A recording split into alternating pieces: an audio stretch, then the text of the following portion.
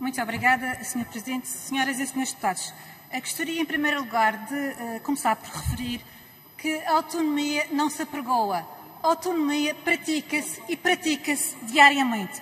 E por isso estranho que o Partido Socialista venha agora aqui falar de autonomia quando tem vindo sistematicamente a ser cúmplice aqui nesta Casa deste Governo da República, quando aqui apoia também o tratamento discriminatório que é dado à Madeira, quando apoia a falta de solidariedade que aqui já referimos, na falta de concessão de um aval que vai custar 84 milhões de euros e, portanto, estranho e lamento que se venha agora falar de autonomia da parte de um partido que é cúmplice e tem vindo a ser cúmplice de um tratamento que é inadmissível e é discriminatório contra a Madeira.